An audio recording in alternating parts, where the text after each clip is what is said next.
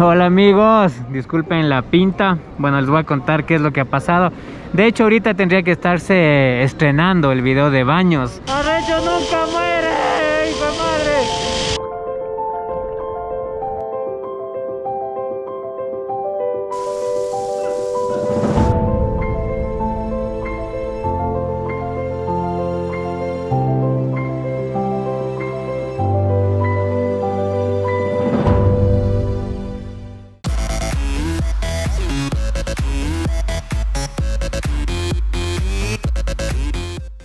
Es una bestia, me encantó Baños. Pero en Instagram están como locos y bueno, gracias a todos los mensajes, eh, a los comentarios de preocupación, ¿no? Que la gente está porque, bueno, ya les voy a contar lo que me pasó. Esperé unos días como que para reanimarme y más que todo coger buena vibra, ¿no? Porque sí estaba súper bajoneado, estaba súper triste. Yo casi que, que algo me ponga triste, salvo que sea algo que le pase a mi familia, pero nunca estoy triste. Ya notarán, ¿no? Cómo estoy. Miren nomás esa pinta de boxeador. Pero bueno, gracias a Dios estoy vivo. No me mataron y eso es muy importante. Ustedes saben que nosotros en el canal exponemos lacras, ladrones, nos vamos por los barrios más peligrosos. Tenemos un contenido único, nadie puede copiar este contenido. Cuando tú haces este tipo de contenido exclusivo, te ganas también el amor de ciertas personas, la admiración. Aquí está un ceñito. ¿Cómo estás? Sí. Muchas gracias. Te ganas el amor de ciertas personas, pero también te ganas del odio, porque siempre hay un odio de la otra parte. Siempre yo estoy recibiendo amenazas, ¿no? Siempre me amenazan que ya deja de exponer, que ya deja de grabar a, los delincuentes. El, bueno, me conocen por sapo en ese bajo mundo. Yo soy el sapo. Yo siempre me cuido, me cuido bastante de, no exponerme a ciertos lugares, ¿ya? Eh, yo nunca aviso dónde voy a estar, con quién voy a estar y siempre tengo mucha precaución. Yo no confío en nadie porque así es este mundo y cuando ya te vuelves una figura pública ya no se puede confiar nomás en cualquier persona. Vivimos en un país en donde la delincuencia está hecho pedazos. O sea, aquí Quito se volvió un lugar de ratas en donde ya nadie se preocupa de, la seguridad. Es muy difícil que en Quito haya seguridad. Hay full robo de carros, de motos, de celulares, de todo.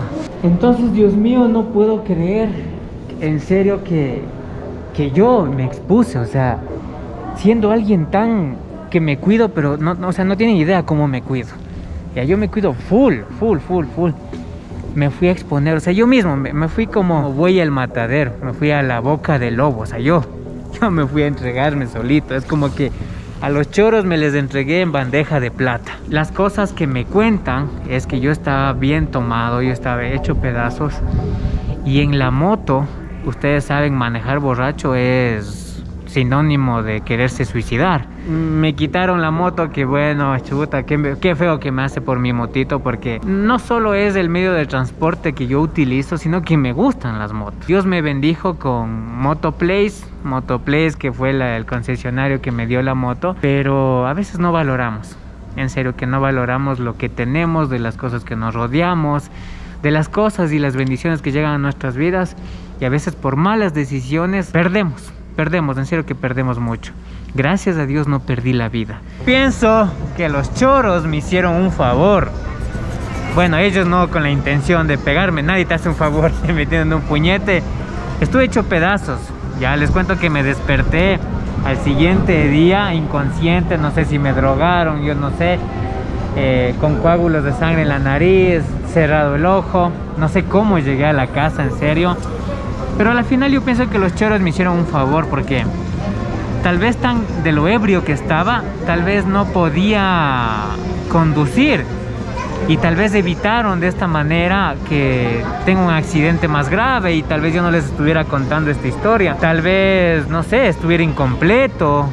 Tal vez sí con la moto, pero la moto al lado del ataúd. Les he hecho sufrir a mis seres queridos, a mis seres amados, están tristes, están tristes las personas que me conocen, sorprendidos también amigos que yo nunca les acepto una copa. Estaba triste, estaba súper bajoneado porque solo pintes en este cuadro despertarte sin saber qué hiciste, sin saber qué, qué pasó. No sé si ustedes han visto esa película que se llama así mismo, ¿qué pasó ayer? Eso, eso, o sea, no saber qué pasó pegado eh, en, en, mi, en mi cama era en las sábanas todito de sangre. Imagínense que yo, o sea, nunca ni siquiera en toda la pandemia yo llego y me baño como bestia, me baño, me desinfecto, ni, ni con la misma ropa entro a mi casa. Y, y qué locura, ¿no? O sea, no sé, no sé, ya me he perdonado, ya, me, ya he superado esto. Les cuento que los primeros días he estado teniendo hasta sueños, pesadillas, que encuentro la moto, que me pegan, o sea, creo que es del subconsciente también, ¿no? Imagínense en que, bueno, puse la denuncia en la Policía Judicial de la Tomás de Berlanga y hacen cola, es una cola gigantesca de que están poniendo denuncias de robo de motos, robo de carros, o qué bestia, o sea, bueno, en el caso de toda la cola, que eran como unas 20 personas, solo yo era de moto de todo el mundo era de carros, una señora llorando que se había endeudado cinco años en su camioneta, no estaba asegurada y le roban. Yo me pregunto, amigos, no sé, vivimos en un país de choleña, no hay seguridad, pero ni un, ni un ratito. En serio que yo he vivido tan confiado, he dicho, bueno, no me ha pasado nada todo este tiempo, pero ahora sí como que estoy paranoico, ahora sí estoy así viendo que no se nos acerque nadie, que no nos, que no nos quede viendo nadie o sea, como que estoy en esas series de Pablo Escobar. así, así de paranoico estoy. Imagínate en las noticias que diga eh, influencer quiteño murió asesinado. Hijo de madre. Me imagino mi familia llorando. Me imagino, ustedes, hijo de madre, también. Me imagino que me han de extrañar los videos. Entonces, me imagino mis amigos, mi familia, todos se ha hecho pedazos entonces no vale la pena. nunca hay que decir nunca si está en mí, ni el día que me case vuelvo a probar alcohol, en serio, o sea, he quedado tan resentido con el alcohol que no, ni el día que me case quisiera probar esa, esa porquería porque no, no te trae nada bueno.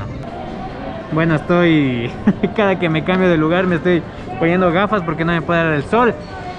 Y bueno, señores, veas en un espejo en mí, por favor. Dicen que sabio es el que aprende a través de las experiencias de los demás, no cometan las mismas estupideces que yo he cometido. Y por si acaso, choros, vamos a seguir grabando, vamos a seguirles grabando. Esto no va a ser aunque, ay, se más asustó y ya no va a dejar de grabar. No, no, no, no, no. Vamos a seguir exponiendo lacras. Vamos a seguir por los barrios más peligrosos del Ecuador. De todas las ciudades, no solo de Quito, de todas las ciudades. Y próximamente se vienen unos videazos. Reflexionen amigos, reflexionen por favor. No conduzcan en estado de ebriedad. Si van a tomar, no lleven su vehículo, su motocicleta. Esta es una, una oportunidad que siento que Dios me dio. Una nueva oportunidad que Dios me ha dado. Siempre digo, recho nunca muere. Pero en serio, le agradezco a Dios que me haya dado una oportunidad. Y creo que esto se necesitó para que yo gire nuevamente y regrese mi vida a Dios. En serio, que le agradezco a Dios. Seguir y amar a Dios no es aburrido por si acaso, ¿no? Seguir y amar a Dios más bien te da toda la, locura, la pasión por tu trabajo como lo hacemos nosotros. Les amo amigos, cuídense bastante. Les voy a dejar una porcioncita del video que, que se venía. bueno, que se viene ahorita, que es de baños. Una bestialidad, baños tienen que disfrutar, tienen que darse un paseíto con su familia, disfruten con sus seres amados. Es preferible disfrutar con, con su madre, su esposa, sus hijos, sus padres, sus hermanos, su familia, que estar por ahí gastándose la plata en bielas. Nos vemos amigos, que Dios les bendiga. Chau, chau, chau, chau.